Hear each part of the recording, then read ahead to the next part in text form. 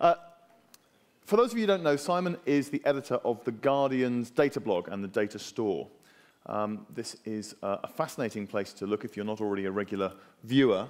Um, and, well, let me ask Simon to explain in his own words, what exactly is data store and what is the data blog? So um, I have one of those jobs that um, uh, my parents don't fully understand what I do, like perhaps there are some of you in the room who have the same thing. And um, so my background is as a news editor. So I was, I was um, my first on the news desk was September the 10th, 2001. Right. And um, what happened after that was I got asked to start working with the graphics team uh, to, to work with them as a journalist because traditionally English newspapers treat graphics as if they're kind of just pictures, whereas actually a lot of editorial work goes into decent graphic. And we started collecting data, and then we thought, well, what would happen if we just started publishing and opening up some of this data, you know, making it available to, to um, people around the world. Maybe people could do stuff with it better than we could do with it, and it's just kind of grown from there. So now um, it's the biggest blog on The Guardian, and what we do is every day we create stories out of data. Some of them are visualizations, mapping, and using um, many of the free mapping and visualization tools are out there, and sometimes we write about the data, we generate stories, and we kind of, um, you know, journalists are traditionally quite scared of maths and numbers and stuff like that, so I suppose we've changed how that works, certainly within The Guardian, in terms of making uh, maths and numbers a, a way of getting stories. Mm. Uh, uh, I want to come on to the stories thing in a second because I think that's one of the areas where there's a great crossover with market research in a sense that the idea of using data to create insights or narratives that people can then react to in some way.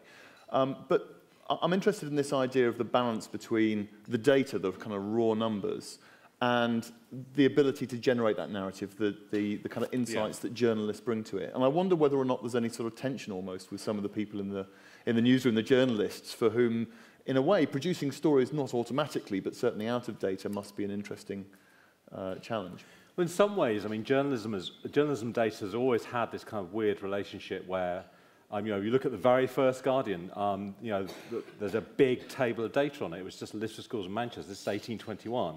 And that was 60 years before education was compulsory, so it's a very political story.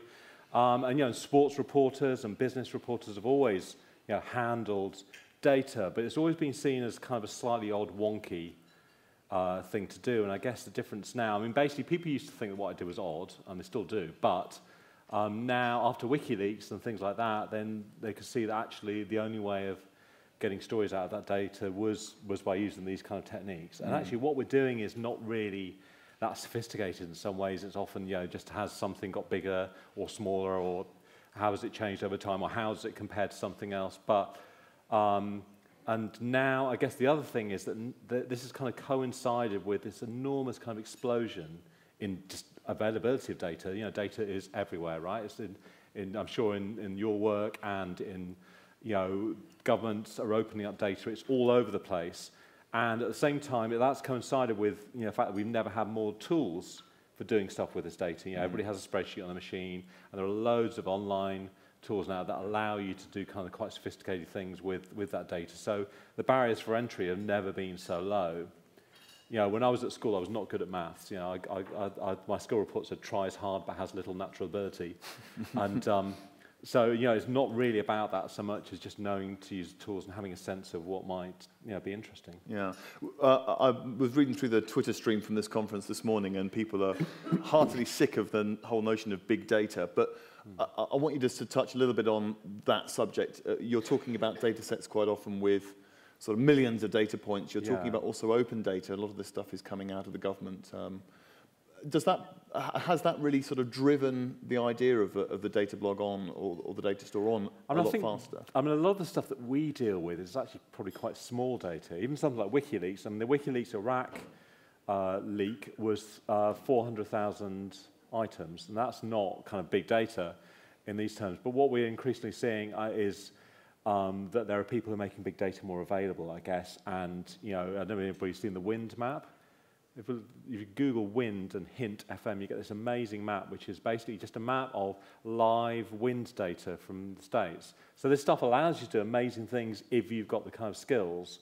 And what um, what we found, I guess, is a lot of the data we deal with might be considered kind of small, but it's often important. It's stuff that's in the news today. It's stuff that matters then, and that's why it matters to people because it's the data behind the news. You know. I'm, I'm, I'm sort of hearing a slight gasp at the idea of a 400,000 piece data set as small for some of the some of the guys in the room that might not be quite so small but uh... I mean yeah I mean basically when you have something like that I guess our thing is to try and make it more accessible so say with that data set that's 400,000 rows which seems like enormous and you couldn't possibly read through all of it but what you can do is think well what's going to be interesting out of this data and actually we thought well maybe just the sheer numbers of deaths and that became the story out of that particular data so then you filter it down and you, you often you start by making what you're working with smaller so that then it's more manageable and you can do stuff with it. But I mean, there are people who don't blink at, at millions of rows of data, but then they wouldn't know where to start by getting a story out of it, and that's the, the key difference from what we do, I guess. Well, there was a, I, I saw you tweeting earlier, you were at a, a conference earlier this morning, and Andrew Dilnot was talking about ONS data and saying every number we publish is wrong, but it's the best number there is. Mm. Um, I'm, I'm sort of intrigued by this because when you combine that fact with this idea of, of big data and being able to almost find any story you want, depending on how you cut and slice it, um, how much do you have to guard against bias? Or maybe actually editorial bias is what you're looking for out of this? Well, in a way, I mean, bias is ever I don't believe in the kind of objective truth. It's very metaphysical now. But, um, you know, I think as a journalist, you know, when I started working as a news editor, um, being a news editor is a really difficult job. You have people throwing stuff at you all the time. Some, some may well be in this room. And um, you have wires coming in and breaking news stories and all this stuff kind of coming at you. You have to filter down into what you need. And I, I, I spoke to a senior news editor when I just started. I was terrified of all this stuff. And I said, well, how do you choose what's interesting? He said, well, you just have to choose stuff that's interesting to you because um, you know then there'll be other people who are interested. And, that's how we approach this, actually, to be honest, probably by our selection – of the stuff that we concentrate on, stuff that we find interesting, that we know there'll be, there'll be stories in it. I don't, I don't think there's a kind of objective thing there, but I think there is something about having a sense that this might be an, an interesting path to take and then taking that path, not trying to do everything, mm. because you can't, it's impossible. You have a morass of data, it's like a sea. Yeah. You know. Uh, uh, uh just as a quick sort of side question, is there a risk when you've got so many people looking at your stuff on the web, and in the case of the data blog, everyone looking on the web, sure. I mean, you, you, obviously stuff feeds through to the paper product. But you use an interesting phrase there. You, you just decide what's going to be interesting. Is there a risk that when you see the web stats coming through, you see the page views coming through, that almost skews you towards certain types of data or certain stories? Yeah, I mean, has, I mean, being realistic, you know, it changes how we do this stuff. You know, Google now writes our headlines for us. Mm. You know, we're, we're fixated on trying to make sure things have a long tail. And often we are hooked on stuff around the news, but we do do stuff that I think this isn't going to be popular, but it's kind of important. Um, but then some stuff, you know, so will just explode. So for instance, I'd, in July, after the Denver shooting in America, um, we did a map which just showed uh, homicides, firearm homicides against firearm ownership. See those kind of, you know, a link. And we did it then, and it did all right. And then somebody, after Sandy, the awful shooting in, uh, at the end of last year, uh, somebody picked it up and they put it on Reddit, mm. and it got like 100,000 pages in a day. And this is something I hadn't touched for six months. So often these things you do, which you think are kind of important and interesting at the time, but actually nobody else does. Later on, they will be. And uh, there's that. And I guess the other side of it is we're thinking, what's somebody going to be looking for on this? You know, so if you, if, uh, often now, you know, we we do pretty well in terms of SEO because we try very hard to make sure these things are findable later. It makes headlines more boring, but... But yes, yeah, maybe that's the, the, sort of entropy we're heading towards, sort of boring but actually serving all our needs very sort of conveniently. Yeah. But let's have a little look then. I mean, you, you mentioned right at the outset that the, one of the ways that you came into this was by working with designers.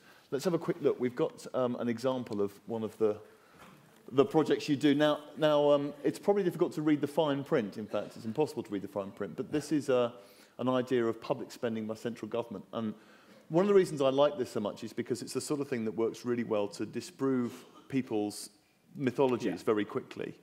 Um, but, but coming up with this kind of representation, um, it almost only works as a massive poster on, the, on a wall, really, doesn't it? Yeah, we, we always do two versions of this now. We, do, we started about five years ago, and the idea was, you know, what do we spend our money on? You know, where does it go? And for anybody who's ever dealt with government data, this is the worst of it, because all of these circles show different government departments and how much they spend and then what they spend it on with the kind of things. And we're biased towards things we've heard of. So you'll find, you know, the cost of Afghanistan, say, on there. But um, what we had to do is go to each department's annual report, which is published as a PDF. um, which is the worst format for data known to humankind. Um, a friend of mine said, my child said this morning, but a friend of mine said, you know, data, PDFs where data goes to die. Um, but they're a way of looking transparent, right? You publish and look transparent. And um, what we find is that we have to extract stuff and then governments split all their, their spending into departmental expenditure limits and annually managed expenditure, none of which anybody understands. And whenever we do this, um, you know, this gets picked up outside uh, the office and, you know, inside the treasury they have it on their wall and central office information uh, call us up and ask if they have copies because they don't have it, which is slightly alarming.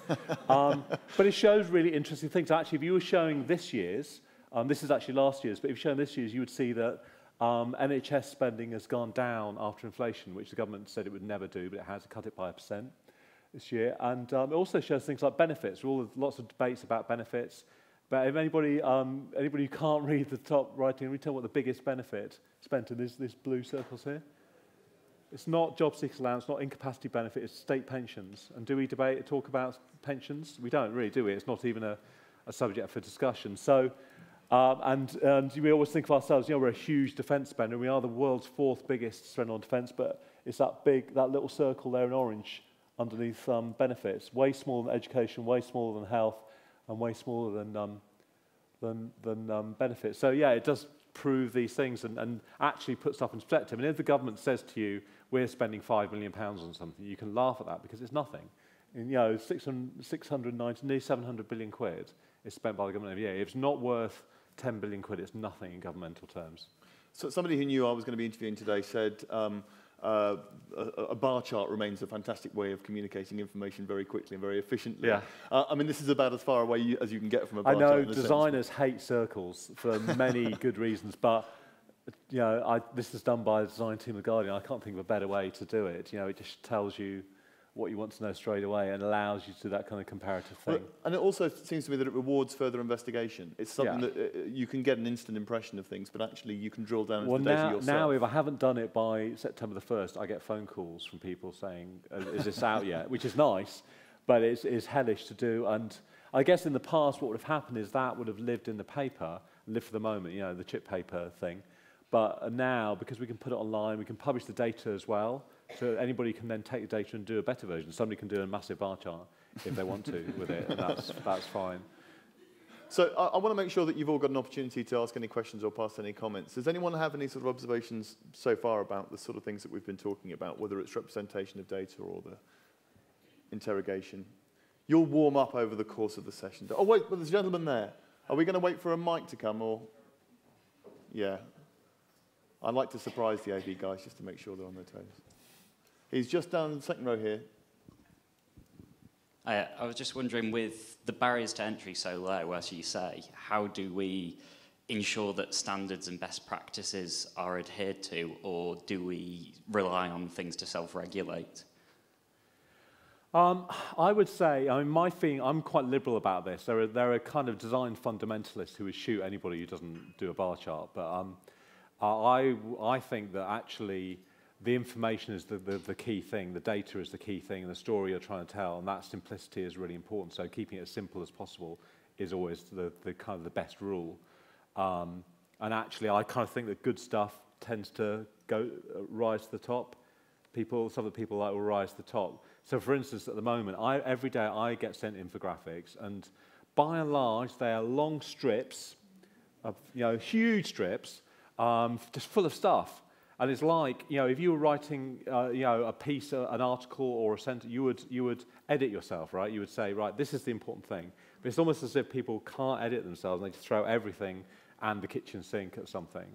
Um, and uh, th- those are really ineffectual in my view because we get so many of them now, they're just pointless. Anything, anything you have to scroll down repeatedly for, I will, I will just not even look at because it's too boring. Uh, My personal bet noir is the, is the number which has got a picture drawn around it. And Yeah. people think that's an infographic. And you sort of think, oh, you know, you've got to work a little bit harder than that. There is, there, is, there is something that's worth Googling, which is the top 10 infographics on the web. And there are like, uh, there's a Venn diagram, there's a uh, periodic table of something, there is a bar chart showing uh, tall buildings around the world and something they're building in Dubai. And there is, um, yeah, uh, uh, there, there's word clouds. All of those things are just so overused, they're, they're all over the place. But having said that, you know, Um, there are so many kind of good free tools now, things like Datawrapper or Google Fusion Tables or um, you know, Infogram is very good. A lot of these things just for making charts now that you can just make this stuff and anybody can do it. So I think that but the most important thing is, like I say, I think is the data and, and working out what story you want to tell. Well, let's, let's pick up on that point about the reliability of your data then, because, you know, notwithstanding Dilnot's crack about, you know, it better, because effectively what he's saying is it's better to be approximately right than exactly wrong, uh, in a sense. Well, he's kind of saying that basically that what the ONS produces are estimates. Yeah. They're pretty good estimates, and you'd be hard-pressed to find better ones, but they're estimates. They don't know for sure. Nobody knows anything for sure. You know, no, you know, the census is the closest thing we have to an exact measurement of this country and that's got its own problems, and they're probably going to, uh, you know, cut it from next time. So we'll, all, we'll only have guesses. We'll yeah. always only have guesses. But does that present you with a problem when you're looking for a story, you're looking to generate a narrative out of the data or to use it to illustrate something? Um, there, there's a nagging feeling at the back of your mind what, what are the tolerances here? Are we are sure. we drawing the wrong conclusions because maybe there's a, a kind of error in the data? And there's, there's, there's ways you can get around them. And I suppose the first thing to say is actually what we always do, we're, we're, we're very open about where the data comes from. We'll publish it and say, this data is from here. We think there might be a couple of issues with it. What do you think? And you'll always find there is somebody online who just knows everything to know about that data set. You know, we had we did something about the census, and, and somebody came and commented on it who'd actually gone around knocking on doors and and you know and taking the census results. So so that's really, um, you know, I am okay about that, but I think um, what people traditionally haven't looked at are all the, the, background stuff they put out as well. So, for instance, sample sizes are really important. Mm. So, for instance, there's a guy called Michael Blastland who is very good on this, and he um, gave a talk a few years ago about there were stories about the norovirus a few years ago when everybody thought there would be three million people with, with norovirus one winter.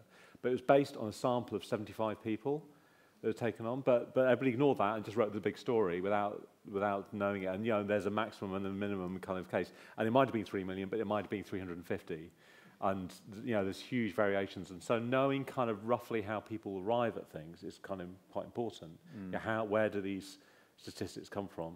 It's like Jeremy Paxman says, you know, why is this lying bastard lying to me? And you have to think of statistics in the same in the yeah. same way.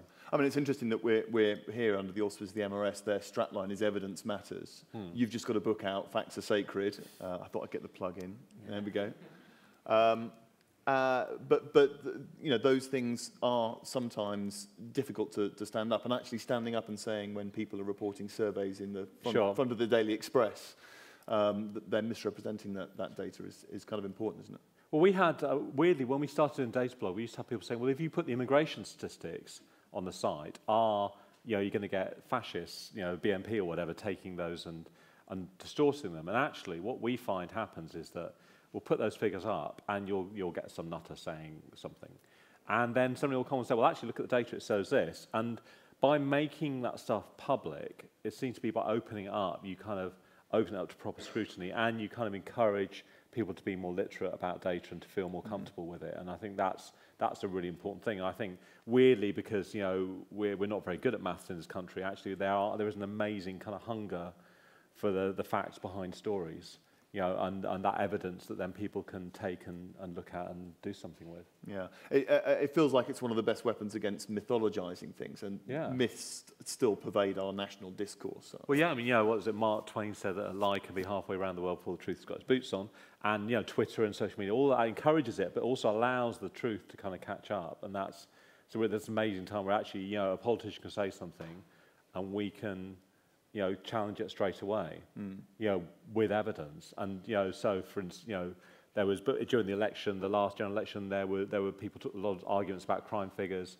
And, you know, one, one politician used, conservative politician used crime figures to say, well, actually crime has really gone up since 2002, but it was in 2001, but you can't compare figures, crime figures after 2002 because they changed the way they count them.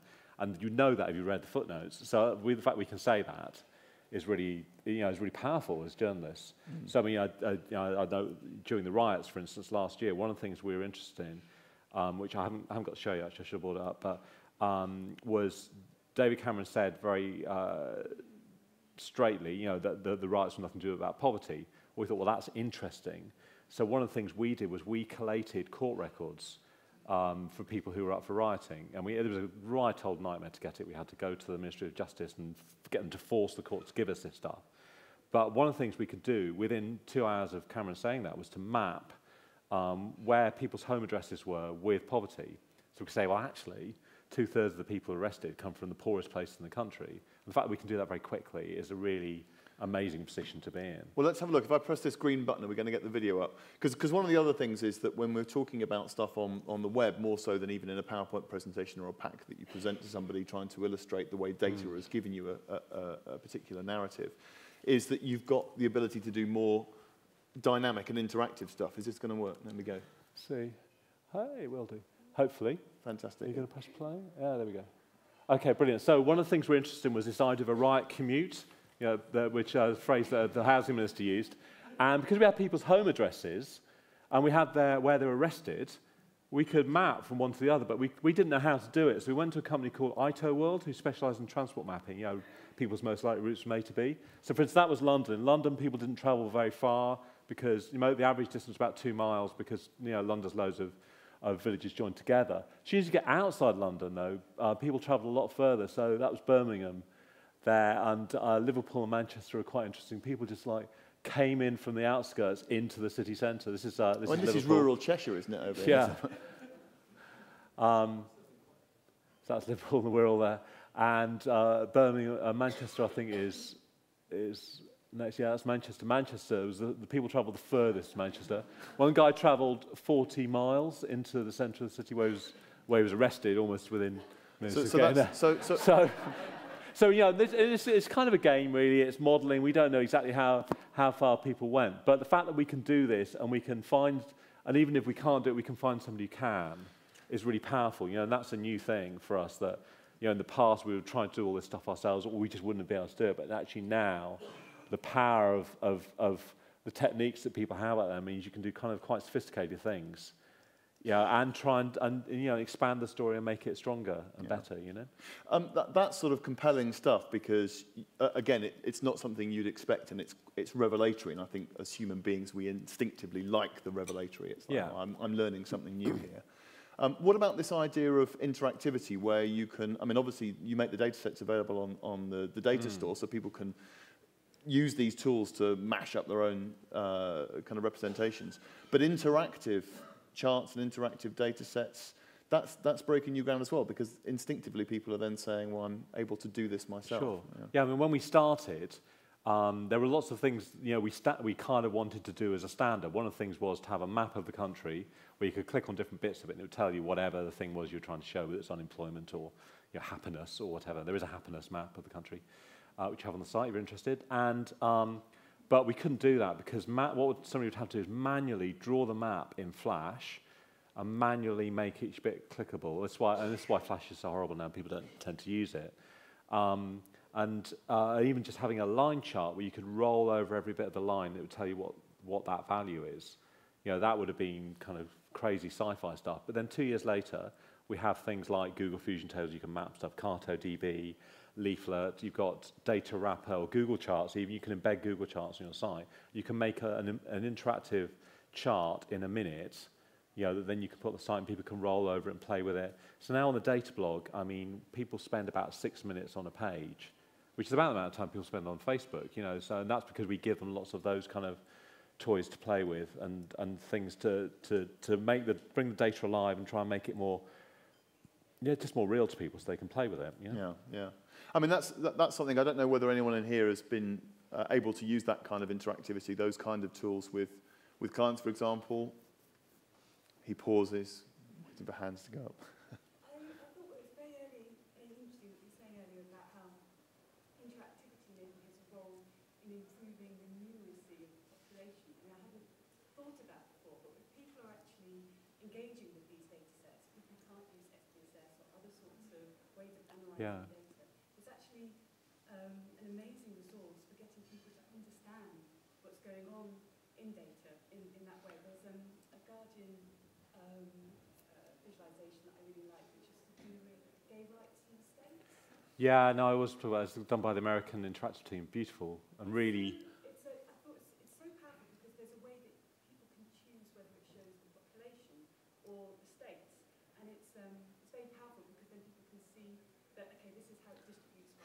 But you know, you know what really worked about that, which is so great, was that it allowed people to share their state with their Facebook friends. So, and it had some like 100,000 shares in two days because people were sharing, sharing it. And, and that we're really increasingly discovering that if you can share people's views of it, and then people say, look what I found in the data, and it becomes, they, they feel like it belongs to them a bit more, rather than being this abstract thing that only belongs to statisticians. Yeah. So, I and uh, actually, that has implications across the different range of, of uh, presenting data, whether you're in a, a boardroom trying to convince people to take a decision around a particular piece of market research, being able to allow them to, to see their own particular interpretation of it. Do you have another point? Or wish, there's a lady in the sort of sixth row from the back. If we can get the mic over to her.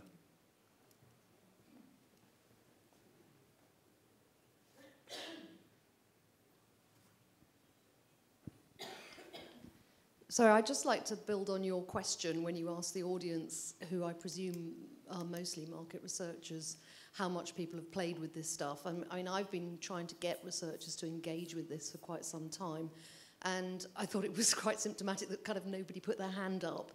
Um, and to what extent do you think, Simon, researchers are actually positioned to engage with this? Because I find that they tend to uh, withdraw into their comfort zone mm. quite quickly. And most of the stuff, I mean, if you look at the Information is Beautiful Awards, they were all won by graphic designers and data journalists. There were no market researchers yeah. entering or winning those awards. And I want to know it's amazing why you think that you, is. You've, you've got amazing data. You know, you've got fantastic, fantastic kind of fascinating data. I think there's that thing that, I mean, what, where we are, I mean, you know, newspapers, like many organisations, are all about geography. So we sit next to the news desk and we're part of the process now. And that is really important for us, I think, for our kind of internal exposure, that we're part of that process. And I think if maybe there's a kind of parallel there, if, a lot of, if organisations did more to make the research part of their process, part of their the high level thinking, then um, it would have that kind of desired effect because people would start thinking, oh, this is important, this is something. But you know, what we find now is lots of organisations are hiring data journalists or, or people who aren't necessarily statisticians, but people who can tell stories with data. You know, Facebook has people that do that. Um, you know, Twitter's has people that do that. You know, they're, they're all kind of hiring, you know, these kind of, Google definitely has people that do that. They're hiring people that, that can kind of represent the data and they don't have to be kind of wonks and, and coders, you know. Not there's anything wrong with being a wonk or a coder. But, you know. I'm, I'm, I was trying to work out whether it was better to be a dweeb or a geek the other day, but um, I, I don't know if there's a difference between the two monks and coders. There's a lady at the front here, if we can get the mic over. Um, while that's coming across, uh, uh, what are the best stories for this stuff? I mean, obviously you need the data, so it's great to be able to interrogate the court service and get the, sure. uh, the, the, the, stuff. But what are, the, what are the, the stories that you absolutely lap up when, when there's an opportunity? I think the stuff that people like is anything that, that where they can compare themselves to something else. You know, like where you, you know, it's making it personal. So we did something um, recently about, uh, it was all about this poverty and stuff. And every, if you ask anybody in a newspaper where they are, they say, oh, well, I'm middle class. I'm in the middle. But actually, most people, and probably most people in this room, are actually at the richer end of society. To be in the middle, you have to be earning £15,000 a year, really, which, you know, most people in the population are in that kind of walk. So we did this thing where you could put in your income and you put in your, um, uh, your details, like are you married or do you have kids? And it would say, it would put, place you where you were in this kind of parade of, of, of from poor to rich. Uh, but it also allows you to tweet uh, the categories. So, you know, I'm in the squeezed middle, or I'm on the verge of poverty, or I'm, you know, I'm wealthy. And we thought nobody's going to tweet that, but let's just try it out. And hundreds of people tweeted, I'm on the verge of poverty, or I'm in the squeezed middle. so I think stuff like stuff where where it's complicated data that about stuff that people care about that, that you can then make personal is the stuff that that does well. Yeah. You know, about stuff about people's lives. You know. Yeah. Lady here. Thank you. Um, I'm really interested in finding out a bit more about the decision making process of what visualization you're going to create from a data sure. set. And in particular, how much of that is the kind of the static, statistician analysis direction and how much the graphic designer takes hold and says, actually, we need to do this with it? Sure. So, I mean, the, the one thing about the free tools that we use is it, it kind of puts the power our way because we can decide how to do it. But if it's something where it's a bit more sophisticated, you know, I really often work with the, the graphics the design department, you know, the, things, the kinds of people who made that, that gay rights interactive, you know. Um, And what they will give you is they will give you a kind of a level of beauty and sophistication which you can't do unless you've had that training. I really believe that. Um, but the process itself, how do we come up with stuff? I suppose often it starts from breaking story or there's something in news. Sometimes it's just because something's interesting. So you know, one of the best, best, most popular posts we ever did was a list of Doctor Who villains. Done as a Friday afternoon, bank holiday weekend, Friday afternoon thing kind of, uh, wasn't, and uh, it had started off with a list of 150 villains, and within an hour we'd had 300 comments, all of which were corrections and additions. so, so and so you know, and so and so we turned it into a crowdsourcing exercise because you know, actually we were crowdsourcing it. Um, but Surely that's one of the, the asterisks you put on any project now is uh, this is a work in progress. Crowdsourcing, exactly, exactly. welcome. So I suppose you know, sometimes often it comes from that, and then um, I think the stuff that we have that does best is stuff that's got, there's a newsy hook to it. There's something that makes it current for people. And I think that's the hardest thing to find. And that's where I'm really grateful for my kind of news editor background because that allows me to think, okay, this, this, this data set is really big, but actually this bit of it is, is the interesting bit and that might make a story. Um, and we're always trying to think about, you know, what, what can it be beyond a pretty graph? You know, what can it be? Can it be a news story? as well, and that's really important for us, I think. So not having a rigid idea of what the end product's going to be until you've seen Yeah, until you've seen the data and seen the sub and thought what it can be about. So often I'll start the week with a list of things I know are going to come out. I mean, like tomorrow, for instance, tomorrow is a bit of a kind of, is a perfect storm for us because not only you've got the budget, you've got um, unemployment's coming out, public sector employment, so how many people work for the state, which is quite interesting. Um, and there's three or four other big things all coming out at the same time. And we've got to handle the budget as well and um, George Osborne, you know, so for that, for instance, that, that you want to kind of get a sense of how our process works. So during the budget, if you go to the front of the Guardian, there'll be these kind of live charts, but they're going to be powered almost entirely on what George Osborne says. So, for instance, he will say tomorrow, inflation next year will be this, the year after it will be that, year after it will be that, and we'll be writing that down and manually putting it into a chart and putting it on the front page. And then when he sits down, then you get all the official stuff from the office budget responsibility, all the projections, plus all the stuff that's in the budget itself. And in the budget itself, there's always a big table which tells you every measure that's been announced and how much it's going to cost, which I think is really interesting. But it's published as a PDF, so that'll take at least half an hour to get out and clean up and do stuff with. So, um, um, so, so, we, so I suppose the process for us is to have that, but then in the morning, if you go on the site in the morning tomorrow, the, first thing will be the 10 data sets you need to know about, the 10 charts, the budget and 10 charts. These are the things to look out for. Because often what we're trying to do is just that, trying to make stuff which is big and scary, less big and scary for people. Well, that's a very good message. Less, make, make things less big and scary, make them personal. I'm very taken with the idea, and I'm sure a lot of people in the room are, of, of proximity being quite important. I yeah. think, that, you know, being close to the way the narrative gets described or articulated in, in the many different ways in which it will be, I think is, is probably very important. Um, we've got 35 seconds left. What's the next big thing? What's, what's, what's the next big thing in data visualization in, in, in data store? I think it'll be people who are making big, horrible data more accessible and easier to understand. So, and that's where, and that's that mixture of coders and developers and journalists working together to, to make this big data everybody's so worried about something accessible and easy. Fantastic. And also, just like this realization that all we're doing is telling stories.